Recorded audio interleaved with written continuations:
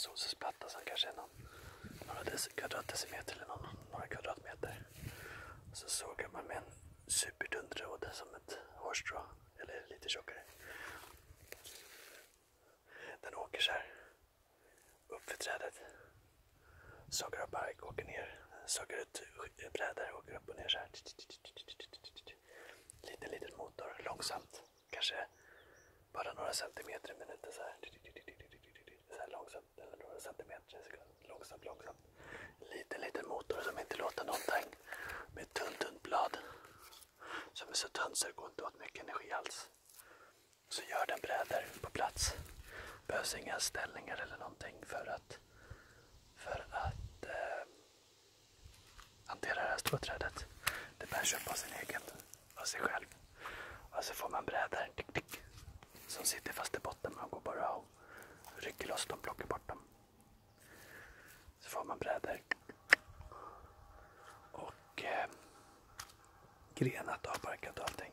Av en liten maskin som kanske bara väger eller lite så lite som möjligt. Kanske en solcellsplatta ställer man på marken här. Och sen en liten sladd upp. Eller batteri. Eller sladd. Så går den här upp och ner. Och gör tunna skivor eller plankor eller pinnar. I början kanske den går sakta för att få liksom gripa tag i det här och barka av den liksom.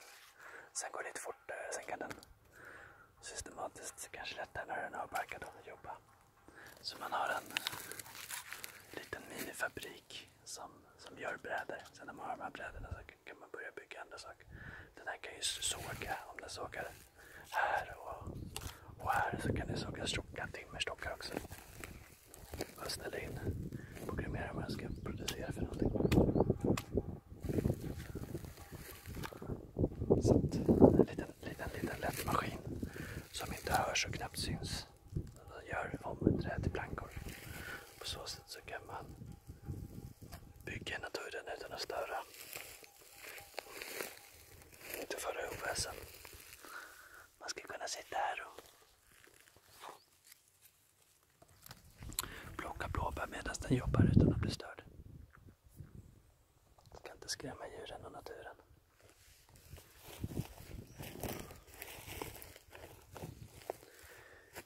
I framtiden så kanske man kan ha DNA-manipulerade träd så de bygger, växer upp hus. Så man inte behöver in och, in och döda trädet. Man kan leva i harmoni med ett levande träd. Vi är inte riktigt där än, men vi kanske kan komma dit. Vi kanske kan bygga vårt paradis tillsammans. Det skulle vara kul att ha en sån här, testa en sån här tunn lövsåg. Typ som man urmakar såg, sågar långsamt bit för bit.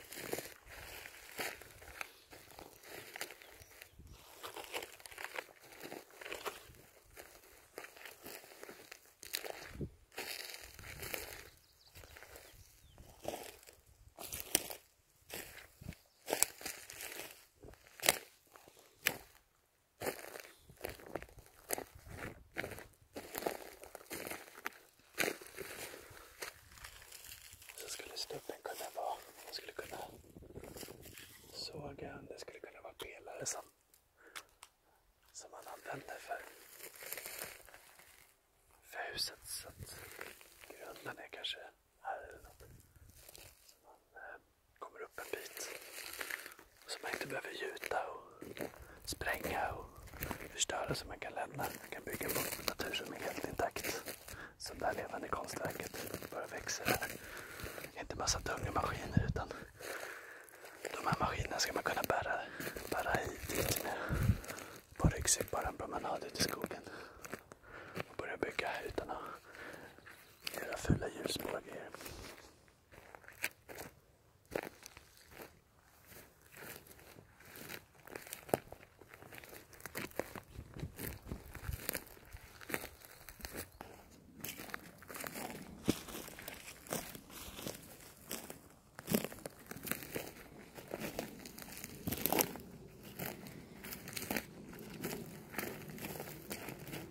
Så här massa pinnar och grejer. Det skulle man kunna göra en liten, liten ångmotor som, som gör samma saker.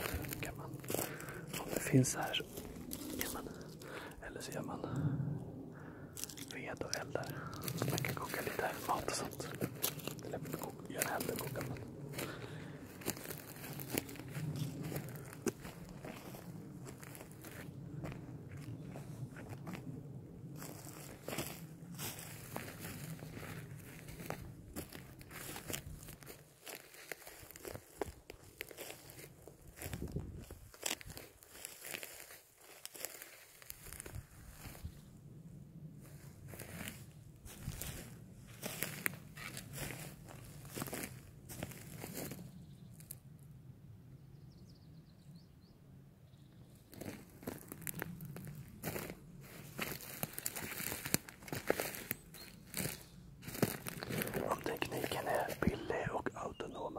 på sig själv. Då gör det inte så mycket om det tar 24 eller 48 timmar att göra ett träd. Då kan man sätta en sån maskin på varje träd. Har man 10-20 sådana maskiner så är det bara att vänta två dagar. Så är alla de här träden gjorda om till plankor. I samma hastighet som man hade en snabb maskin och tog alla de här träden.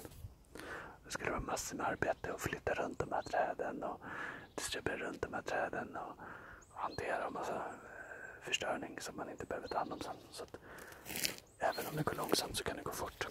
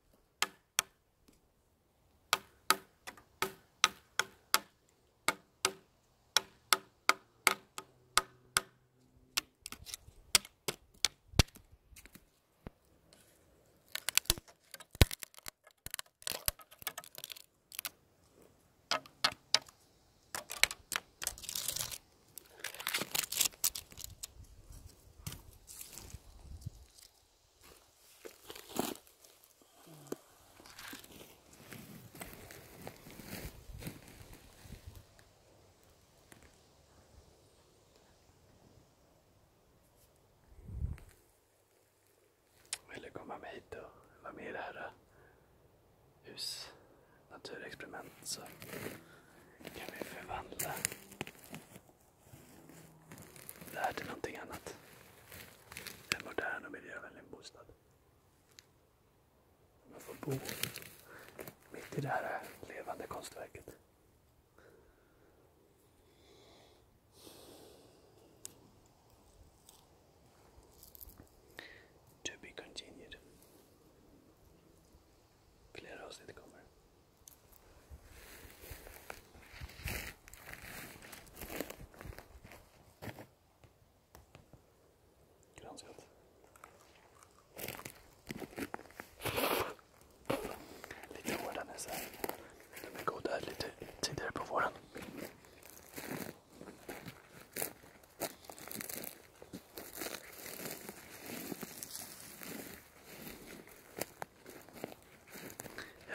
Med ungefär 55 kilometer eller ja, 55-60 kilometer från Stockholm.